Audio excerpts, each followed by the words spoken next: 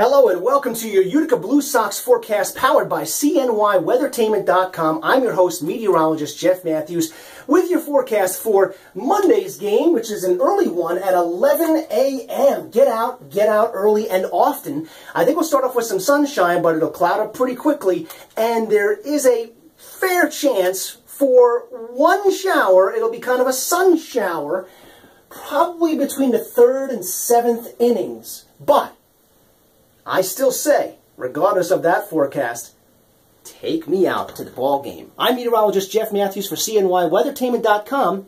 Have a great time.